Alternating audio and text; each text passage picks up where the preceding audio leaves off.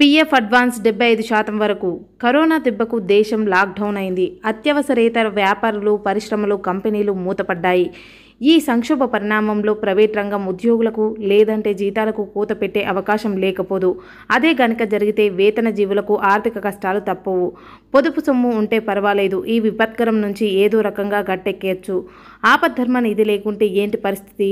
జేబు ఖాళీ అయితే కుటుంబాన్ని సాకేదిలా? ఈ తరుణంలో చేబదులు పుట్టే అవకాశాలు తక్కువే. ఆర్థిక సహాయానికి అన్ని దారులు మూసుకుపోయిన ఉద్యోగికి చివరికి పీఎఫ్ సొమ్మే దిక్కు.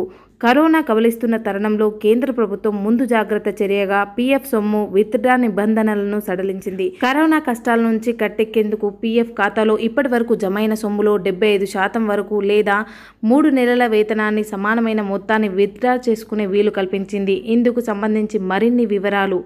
ఇది కూడా మిగతా పీఎఫ్ అడ్వాన్స్ల తరహా దరఖాస్తు ప్రక్రియే. ప్రత్యేక విధానం అంటూ ఏం లేదు. చందాదారులు ఆన్లైన్లో దరఖాస్తు చేసుకోవచ్చు. ఇందుకు సంబంధించి త్వరలోనే పూర్తి మార్గదర్శకాలను విడుదల చేయనుంది. అడ్వాన్స్గా పొందగలిగే సొమ్మును మీ పీఎఫ్ జీతం ఆధారంగా లెక్కిస్తారు.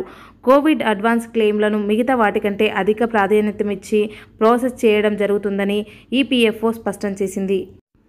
పీఎఫ్ అడ్వాన్స్ డెబ్బై ఐదు శాతం వరకు కరోనా దెబ్బకు దేశం లాక్డౌన్ అయింది. అత్యవసరేతర వ్యాపారులు పరిశ్రమలు కంపెనీలు మూతపడ్డాయి. ఈ సంక్షోభ పరిణామంలో ప్రైవేట్ రంగం ఉద్యోగులకు లేదంటే జీతాలకు కూత పెట్టే అవకాశం లేకపోదు. అదే గనక జరిగితే వేతన జీవులకు ఆర్థిక కష్టాలు తప్పవు. పొదుపు సొమ్ము ఉంటే పర్వాలేదు. ఈ విపత్కరం నుంచి ఏదో రకంగా గట్టెక్కేయచ్చు ఆపద్ధర్మ నిధి లేకుంటే ఏంటి పరిస్థితి?